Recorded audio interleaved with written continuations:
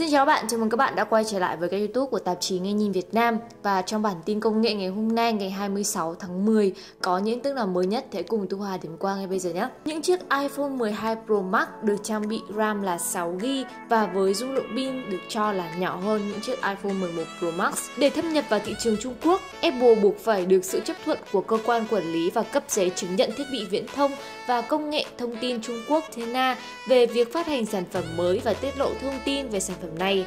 Theo đó, các flagship iPhone, iPhone 12 mini, iPhone 12, iPhone 12 Pro, iPhone 12 Pro Max sẽ có dung lượng pin lần lượt là 2227, 2851, 2815 và 3687 mAh.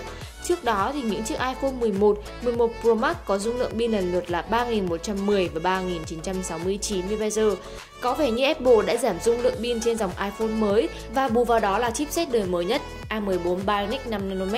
Bên cạnh đó, các thiết bị iPhone 12 mini, iPhone 12 thì đều có RAM 4GB, còn iPhone 12 Pro, iPhone 12 Pro Max sẽ có RAM là 6GB iPhone 12 được trang bị vi xử lý Apple A14 Bionic. Đây là vi xử lý 5nm đầu tiên trên thế giới, 6 nhân CPU cùng 4 nhân GPU. Hiệu năng CPU cải thiện tới 40% so với thế hệ tiền nhiệm và nhanh hơn 50% so với những con chip khác. Nhân Neural Engine cũng được tăng từ 8 lõi lên 16 lõi và nhanh hơn 80%. Tiếp theo chúng ta sẽ cùng nhau đến với thiết kế dò dỉ của Galaxy S21.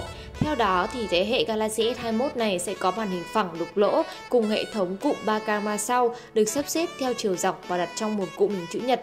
Ngoài ra, Samsung vẫn chưa đưa ra bất cứ thông tin gì về flagship Galaxy S của năm 2021, nhưng một báo cáo gần đây đã tuyên bố dòng S21 sẽ được công bố vào tháng 1 năm sau. Cùng với S21, hình ảnh render của S21 Ultra cũng đã dò dỉ với màn hình đục lỗ nhưng có tới 4 camera sau.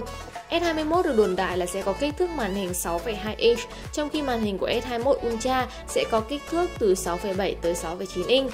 Thông tin dò dỉ trước đó cho biết bộ ba Samsung Galaxy S21 sẽ sử dụng cả màn hình phẳng và màn hình cong. Như vậy là S21 và S21 cộng sẽ có màn hình 2D, nghĩa là không có đường vắt cong sang hai bên mà chỉ là một hiệu ứng nhỏ. Trong khi đó thì biến thể S21 Ultra vẫn sẽ giữ nguyên màn hình cong vốn có của dòng sản phẩm Galaxy S. Vào cùng chúng ta sẽ cùng nhau đến với màn hình gaming mới được Xiaomi ra mắt. Xiaomi Fast LCD 24,5 inch 144 Hz cùng mức giá là 224 đô.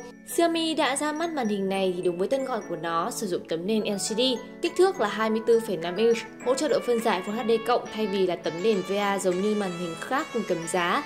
Đáng khen là nó vẫn có tần số quét 144 Hz để các chuyển động trong game mượt mà hơn. Ngoài ra màn hình này còn có tốc độ phản hồi là 20 giây GTG, độ sáng tối đa là 400 nit, hỗ trợ HDR, bao phủ gam màu 95% DCI-P3 và 100% sRGB.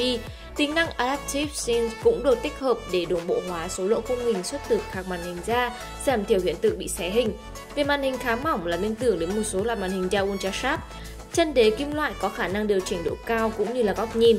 Màn hình Xiaomi Fast LCD bán ra từ ngày 2 tháng 11 tới đây với mức giá là 244 đô. Ok, vậy là vừa rồi thì tôi Hòa cùng với các bạn đã điểm qua những công nghệ mới nhất trong ngày hôm nay, ngày 26 tháng 10 và các bạn cảm thấy ấn tượng với tin tức nào nhất hãy cùng comment để lại ý kiến ở phía dưới nhé. Còn bây giờ thì xin chào và hẹn gặp lại các bạn. Bye bye!